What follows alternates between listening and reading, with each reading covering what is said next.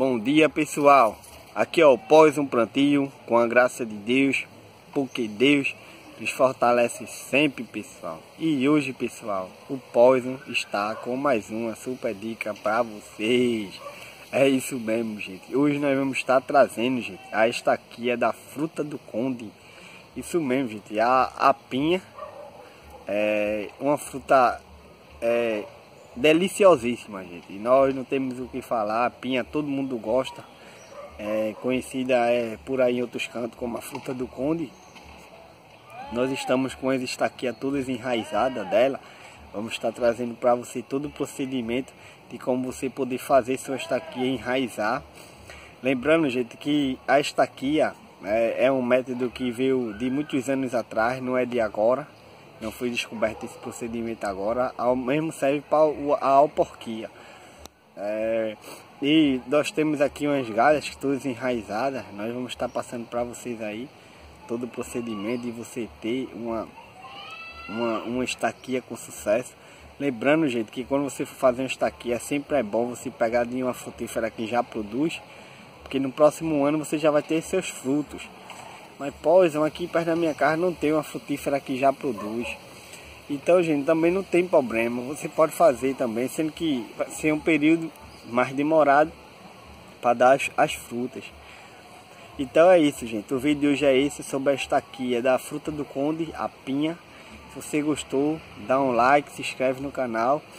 Vem comigo que hoje o vídeo... É... Então vamos lá, gente. É, como vocês estão vendo aí, nós estamos com três três mudas da pinha, é, a fruta do conde. É, tem muita gente que gosta dessa fruta, é, a fruta do conde. É, Sibelecia. Eu gosto da fruta do conde, porém não é a minha fruta favorita não. Entendendo? Aqui a gente não tem enrolação, a gente sempre querendo estar mostrando a vocês. Mas muita gente pediram para nós ter, fazendo esse enraizamento é, três meses, dois meses passados. E eu disse que não tinha um vídeo, porque não tinha conseguido.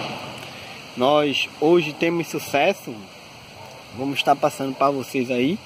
É, como vocês estão vendo, todas enraizadas. É, está, a, a câmera está focar mesmo aqui. Que aqui a gente não tem frescura, a gente não tem enrolação. Tá dando para acompanhar aí, gente. Aqui a gente amostra também, vocês podem ver os brotos todos novos que estão saindo agora. É, vingoso, vigoroso. O galho estão todos verdosos, como vocês estão vendo, todos verdosos é, e bastante vitaminados. Você percebe isso pela a textura da madeira do pau. Vocês estão vendo, olha, coisa mais, mais bonita, toda germinada. E esse, esse, esse, esse essa estaca aqui já produz. Por que essa estaca já produz? Isso aqui é um crone de uma frutífera adulta que bota seus frutos. E essa estaca aqui, de um ano, dois anos, ela já vai estar tá botando seus frutos. Pode botar até antes se você adubar bem, o solo tiver adequado, apropriado para a espécie de, de árvore que essa planta é. Ela pode até produzir muito antes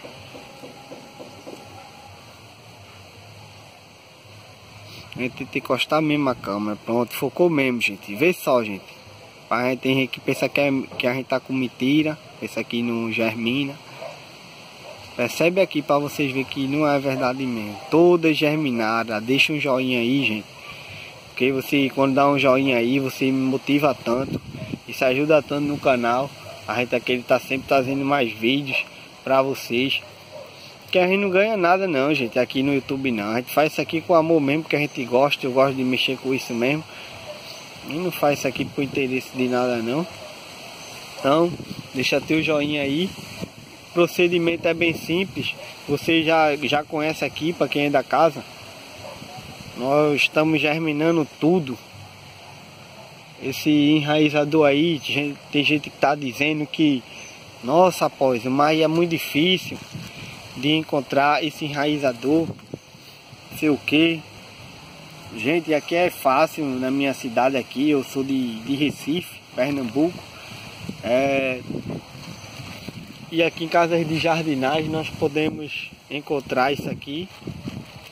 Aqui é, é bem mais fácil, farmácias também, gente, vocês podem procurar.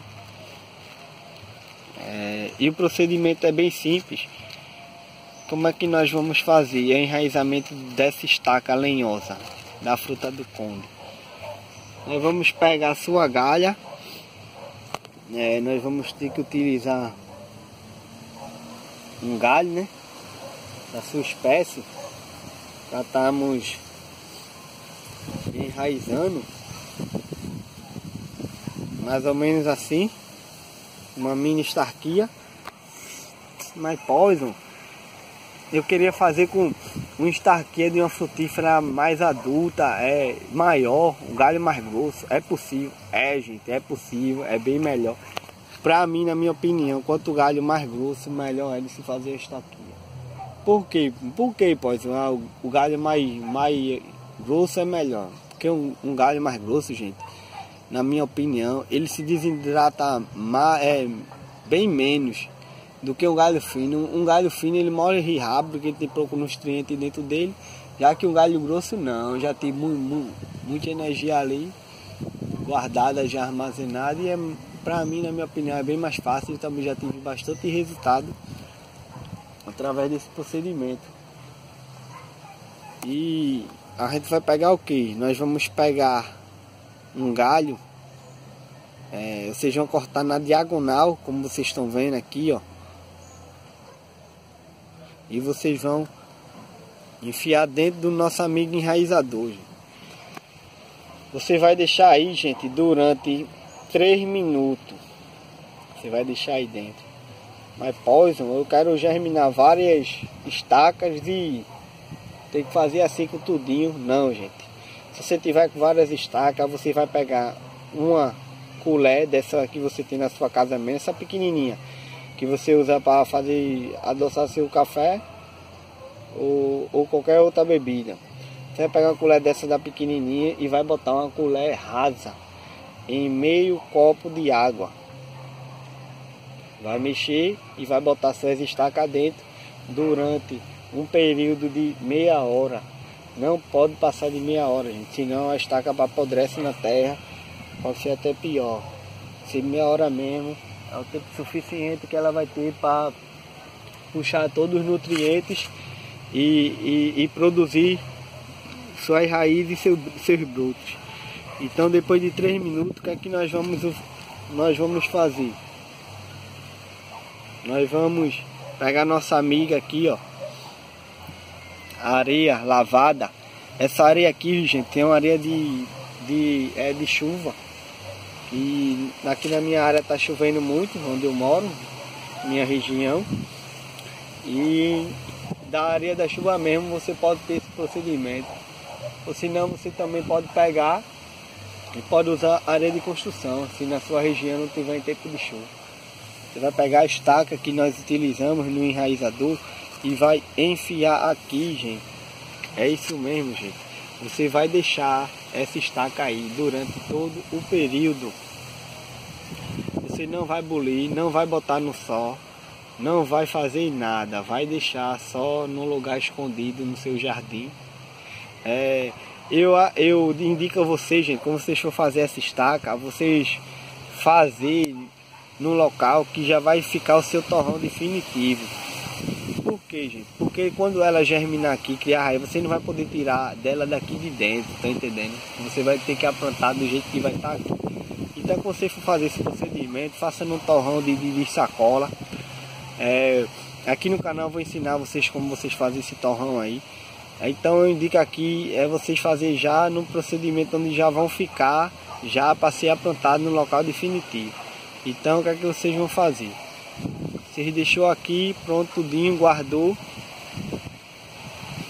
Depois de duas semanas, gente, para três, três semanas, até um mês, tem vez que demora, você vai ter os brotos. Primeiro vão vir os brotos, gente, que são esses brotos aqui, ó. Todos novos, todos com sucesso, todas verdes rigorosas, ó. Como você vou raspar aqui, ó, ó verde, todos chega tão bonitões.